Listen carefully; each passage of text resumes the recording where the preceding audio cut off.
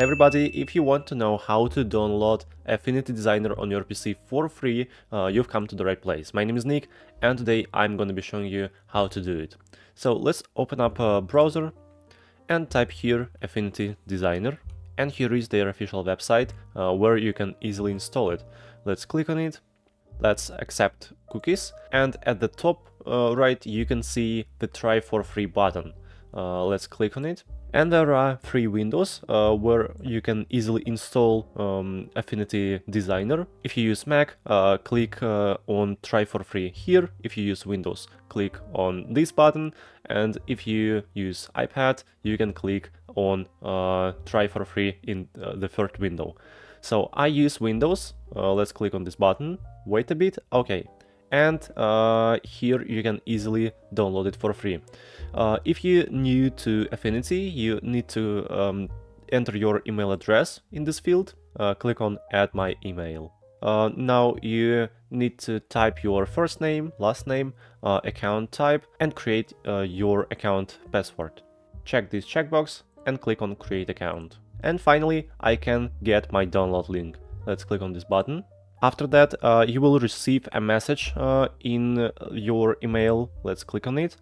And now uh, click on verify your email address. Okay, and finally I can install uh, Affinity Designer 2 on my PC. Here you can select the necessary version. And uh, now at the top uh, right, you'll see that the installer is downloading on your PC. Finally, it's installed and I can uh, run it. By the way, to install it on Windows, you need to click on uh, this button or on the last one. Okay, uh, now let's uh, click on the installer and run it. And this is how the installer looks like. Um, now you can change the path uh, if you want, but I'm gonna click on install.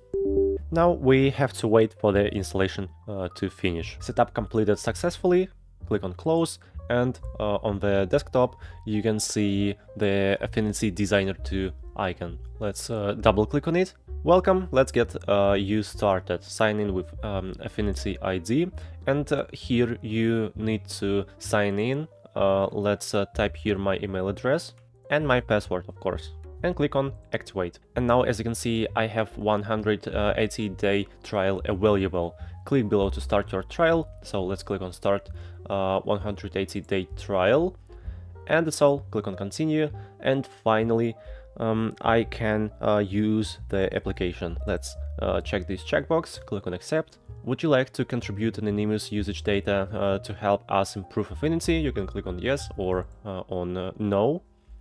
And uh, that's all. This is how the Affinity Designer 2 looks like. So, um, hope this video was helpful, please subscribe to my channel and uh, put a like under this video. Thank you very much for watching, goodbye.